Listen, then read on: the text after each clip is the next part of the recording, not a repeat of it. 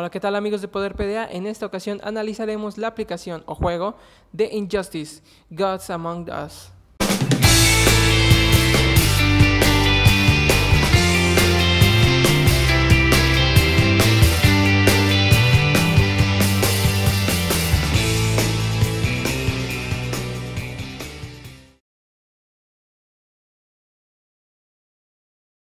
Primero que nada, el juego está desarrollado por NetherRealm Studios y publicado por Warner Bros. Interactive.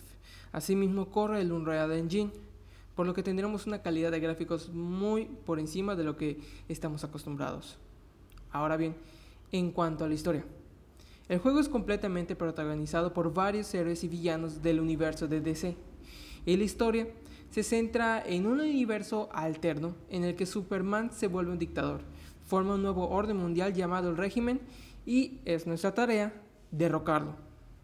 El juego está muy bien pulido en varios detalles de su haber, desde el desarrollo de los modos de juego hasta las gráficas y los ataques especiales de cada uno de los superhéroes y villanos. Contamos con dos modos de juego.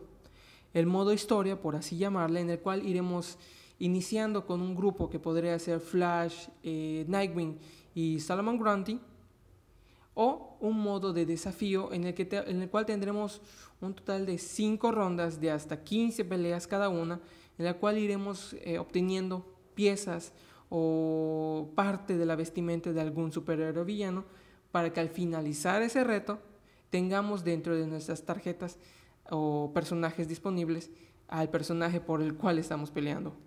Las ventajas con este juego es que se trata de un free to play en el que tendremos que ir luchando batallas de 3 contra 3 para ir subiendo de nivel. La parte de free to play es lo que ha llamado a muchos y por lo cual se ha convertido en un hit de descargas.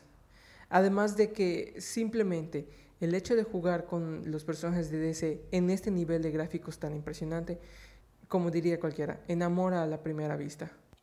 Quizá el único detalle, o, no, o por no llamarlo detalle o dificultad, es que este juego solamente correrá en dispositivos que tengan la versión 4.0 en adelante de Android.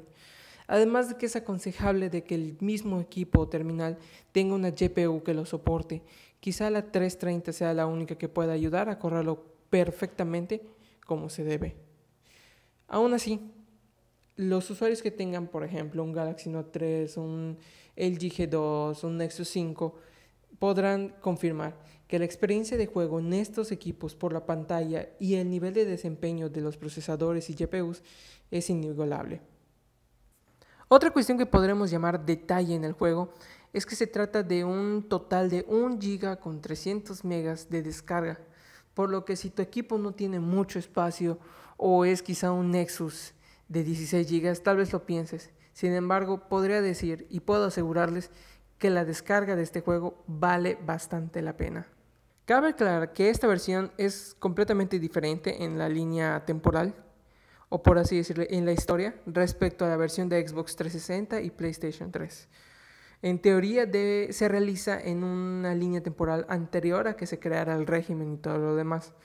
Sin embargo, aparecen personajes que son del régimen, eh, los personajes normales, eh, por lo que podremos decir que nada más es un complemento a lo que ya está disponible para consolas mayores. NetherRealm Studios y Warner Bros. Interactive han hecho un gran trabajo con este juego.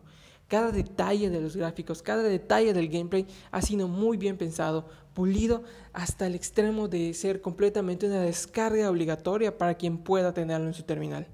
Recuerden que esta sección todavía está comenzando y si tienen alguna propuesta para análisis de aplicación o si quieren saber cómo se trabaja con ciertas cuestiones, algún tutorial, alguna idea, no duden en dejarlo en los comentarios debajo de este video.